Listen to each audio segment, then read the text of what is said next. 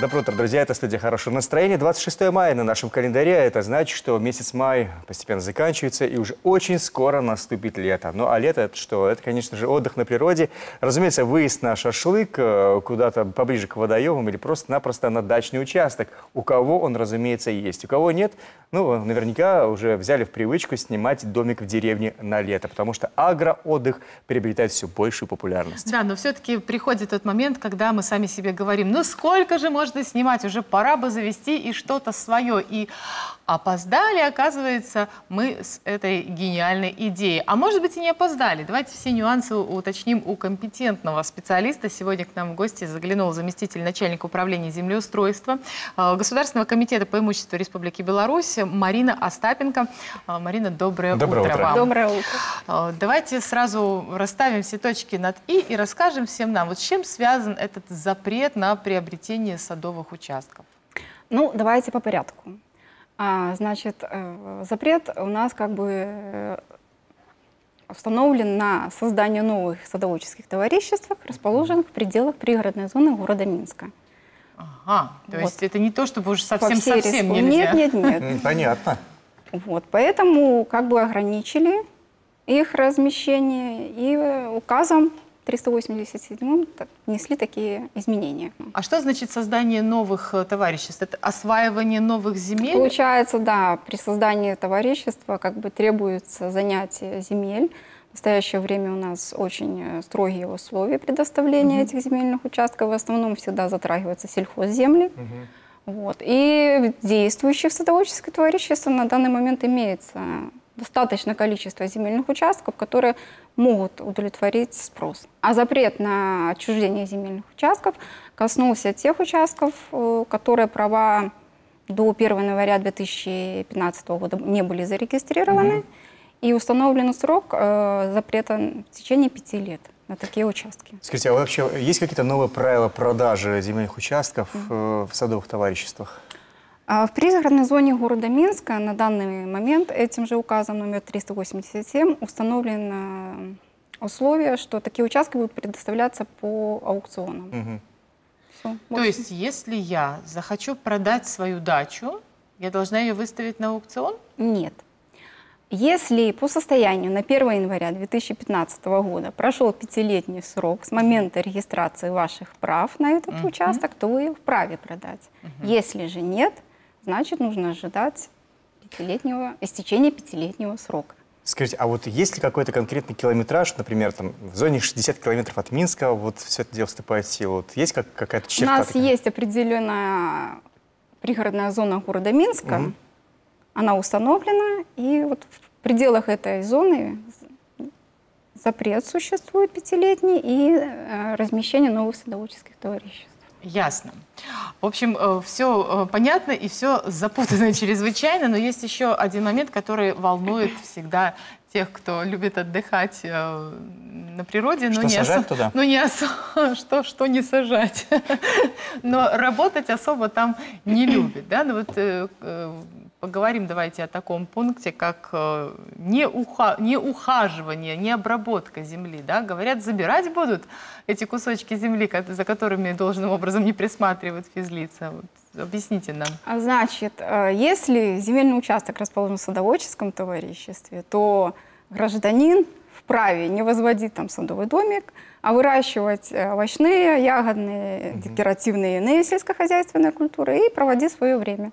Скажите, а если там у меня домик э, в садовом товариществе, и я вместо того, чтобы э, засеять там э, картошкой поле, взял и выкопал бассейн? Ну, понимаете, у нас земельные участки садоводческих товариществ предоставляются для, для коллективного садоводства. Так. То есть нужно земельный участок использовать по целевому назначению. Это выращивание каких-то культур, либо отдых. Но явно бассейн там нельзя. Нельзя. А если вокруг я засею пальмы? Вот я хотела сказать. Ну, это же декоративная культура, почему бы нет? А что касается вот самих этих посадок, э, какая площадь э, участка должна быть засеяна? Может быть, я посажу себе грядку клубники, и мне будет этого достаточно, а остальные Декоративной 5 травой. соток, да, будут, например, или да, остальные 5 соток будут засеяны газоном. Это будет считаться уже обработкой должной земли? Главное, чтобы участок с- э, надлежаще использовался. Не, не росла сорная растительность, а был порядок на земле. Все, не более. Мгм. То есть газон, То- принципе, газон вполне нормальное явление для участков садоводческих товариществ.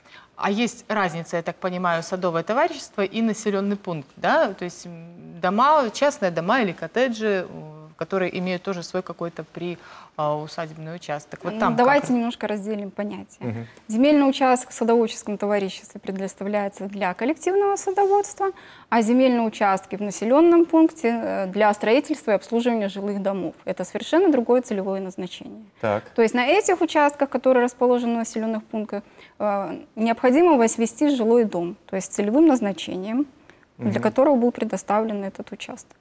То есть что-то там посадить никто не требует Не, этого, да? Ну, посадки это по вашему желанию, но целевое назначение это для строительства и обслуживания жилого дома. Марина, скажите, неужели вот специалисты вашего у- управления, вашего учреждения смогут обойти все садовые товарищества и посмотреть, у кого, у кого что растет, что цветет и так далее? А, Есть у нас такое понятие, как осуществление государственного контроля за охраной и использованием земель. Этим занимаются у нас местные органы. Мгм.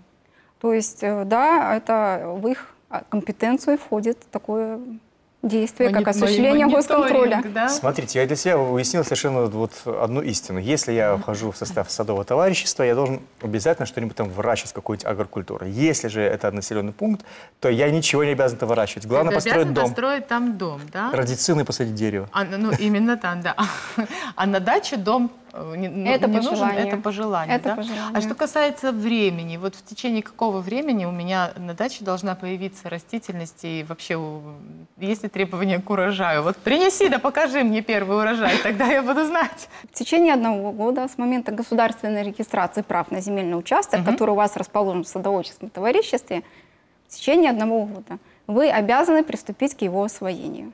Ну, существуют же разные ситуации, да, есть же форс-мажор, здоровье, опять-таки еще что-то, работа и так далее. Вот рассматриваются ли какие-то такие, может быть, уважительные причины? А, я понимаю. В любом случае вы вправе обратиться в местный исполком с заявлением соответствующим, по какой причине вы не можете на данный момент освоить этот участок. Скажите, ну, что касается э, какого-то засеивания, тут понятно, да? А что касается постройки дома в населенном пункте, есть какие-то э, требования для того, чтобы дом был построен в какие-то сроки, или там, например, дом недостроен, сколько может в таком недострое стоять? Ну, у нас законодательно установлен срок в течение трех лет. Мгм. Если по каким-то жизненным обстоятельствам у нас Ну, это не получается, возможно, и деньги закончились, вы вправе обратиться за консервацией этого строения. Мгм. И вдруг еще какие-то условия, еще Какие-то причины, да? причины, да. Мгм.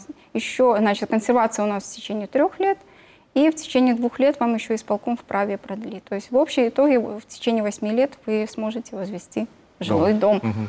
Марина, спасибо вам огромное. Спасибо большое. Теперь все стало более или менее понятно. Если что-то еще, если какие-то вопросы еще у нас возникнут, мы вас обязательно позовем, и вы нам все разъясните. Я напомню, что сегодня в студии «Хорошего настроения» была заместитель начальника управления землеустройства Государственного комитета по имуществу Республики Беларусь Марина Остапенко. Мы вас отпускаем на работу. Рабочий день все-таки идет и у вас, и Спасибо. у нас.